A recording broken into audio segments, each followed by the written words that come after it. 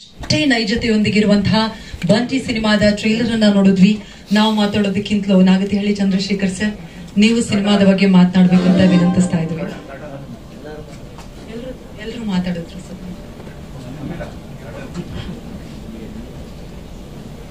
Curtain hockey please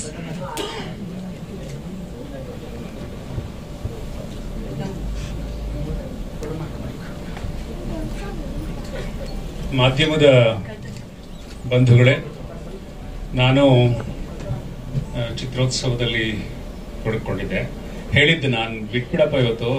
ಈ ಚಿತ್ರದ ಮುಹೂರ್ತ ನಾನು ಮಾಡಿಕೊಟ್ಟಿದ್ದೆ. ಆದರೂ ಪ್ರೀತಿಯಿಂದ ಅವನು ಐದು ಗಂಟೆ ಒಳಗೆ ಬನ್ನಿ ಅಂತ ಹೇಳಿದ್ರಿಂದ ಬಂದೆ. ನನ್ನಿಂದ ಏನಾದರೂ ವಿಳಂಬದಿಂದ ನಿಮಗೆ ಅನಾನುಕೂಲ ಆಗಿದ್ರೆ ಕ್ಷಮೆ ಕೊಡ್ತೇನೆ. ಮೊದಲನೇದಾಗಿ, ಉದಯ್ ಸಂಕಲನಕಾರ.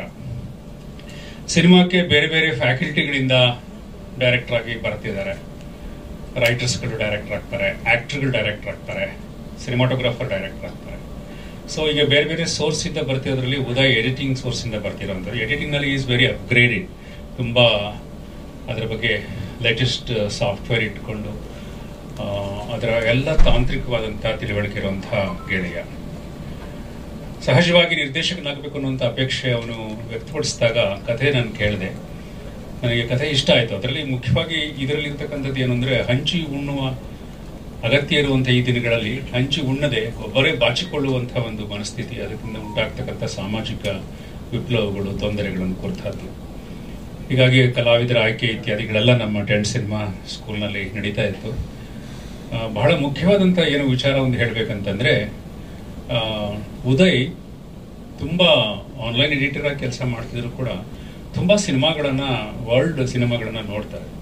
ನೋಡೋದು, ಅದ್ರ ಬಗ್ಗೆ ಚರ್ಚೆ ಮಾಡೋದು, ಈ ತರದೊಂದು ಸಿನಿಮಾ ಕಲ್ಚರ್ ಆತನಿಗೆ ಇದೆ. ಅದು ಬಹಳ ಮುಖ್ಯವಾದದ್ದು. ಕೇವಲ ಒಬ್ಬರು ನಿರ್ಮಾಪಕರು ಸಿಗ್ತಾರೆ, ಒಂದು ಸಿನಿಮಾ ಮಾಡಬೇಕು, ಆ ಥರದ ಪ್ಯಾಷನ್ ಅಲ್ಲ.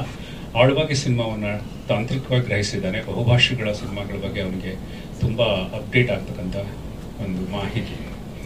ನಮ್ಮಲ್ಲಿ ಬಹಳ ವರ್ಷಗಳಿಂದ ಎಡಿಟಿಂಗ್ ಕ್ಲಾಸಸ್ನ ಗೆಸ್ಟ್ ಫ್ಯಾಕಲ್ಟಿ ಆಗಿ ಅವರು ಉದಯ ಮಾಡ್ತಾ ಇದ್ದಾರೆ. ಹೀಗಾಗಿ ಟ್ರೈಂಡ್ ಸೋ ಮೆನಿ ಸ್ಟೂಡೆಂಟ್ಸ್ ಎಡಿಟಿಂಗ್ನಲ್ಲಿ ಇನ್ನು ರಾಜಾರಾವ್ ನಮ್ಮ ವಿದ್ಯಾರ್ಥಿನೇ. ಆತ ಇದಕ್ಕೆ ಛಾಯಾಗ್ರಾಹಕನ ಕೆಲಸ ಮಾಡಿದ್ದಾನೆ ಆತ ಅನೇಕ ಚಿತ್ರಗಳಿಗೆ ಕೆಲಸ ಮಾಡ್ತಿದ್ದಾನೆ. ಇದನ್ನೆಲ್ಲ ಯಾಕೆ ಹೇಳ್ತೀನಿ ಅಂತಂದ್ರೆ ಟೆಂಟ್ ಸಿನಿಮಾ ಪ್ರತ್ಯಕ್ಷವಾಗಿ, ಪರೋಕ್ಷವಾಗಿ ಬೇರೆ ಬೇರೆ ತರಹದ ಪ್ರತಿಭೆಗಳನ್ನು ನಿರ್ಮಾಣ ಮಾಡ್ತಿದೆ ನಮ್ಮ ಉದ್ದೇಶವೂ ಅದೇ. ಎಂಡ್ ಆಫ್ ದಿ ಡೇ ಕೆಲವರಾದರೂ ಉದ್ಯಮಕ್ಕೆ ಬಂದು ಈ ಉದ್ಯಮದಲ್ಲಿ ಭಾಗವಹಿಸಿ ಒಳ್ಳೆಯ ಒಳ್ಳೆ ಚಿತ್ರಗಳನ್ನು ಕೊಟ್ಟು ಅವುಗಳ ಮೂಲಕ ಕನ್ನಡ ಚಿತ್ರರಂಗಕ್ಕೆ ತಮ್ಮದೇ ಆದಂತಹ ಒಂದು ಕಾಣಿಕೆಯನ್ನು ಕೊಡಲಿಕ್ಕೆ ಸಾಧ್ಯ ಆಗುತ್ತೆ.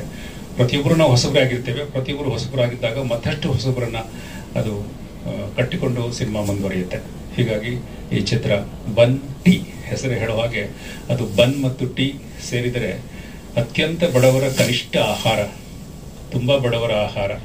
ಎಷ್ಟೋ ಜನ ಅಷ್ಟರಲ್ಲಿ ಇಡೀ ದಿನವನ್ನ ಕಳೆಯುವಂಥ ಸಂದರ್ಭಗಳಿರುತ್ತೆ ನಗರದಲ್ಲಿ.